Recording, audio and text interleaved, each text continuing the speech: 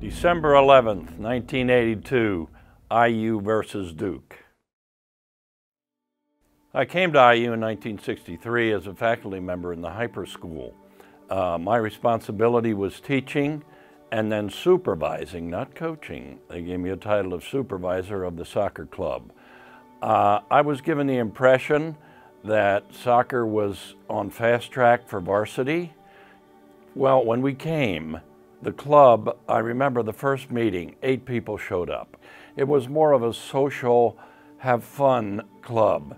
And I, I right away I said, hey, let's become a team. Let's not call ourselves the club. Let's act like a varsity team, go under the rules of varsity, play to win, and be serious about this, or I'm not interested in being part of the club program.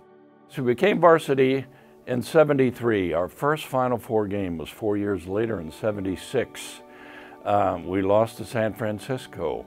Two years later, we played in the championship game again, and it was San Francisco. Very, very disappointing losses, especially the 76 when we missed the penalty kick that could have won it.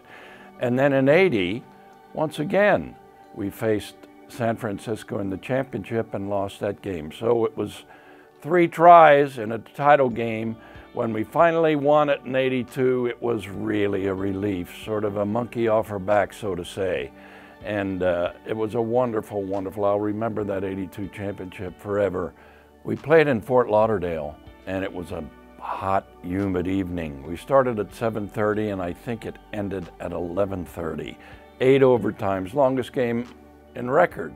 And uh, Greg Thompson's free kick that won it. I mean, you talk about a jubilation, about a, just a exclamation, a, uh, it's hard, to, I can't put it into words. Uh, I, I, was sort of uh, in shock, I guess, for a bit. The players I remember piling on, and I remember being lifted up and given a flag and going around the field. It, it was just surreal. But to have a Midwest team win that championship, and it was, it, it could have gone either way. It was a tremendous game, two tremendous teams. It was fitting of a championship match.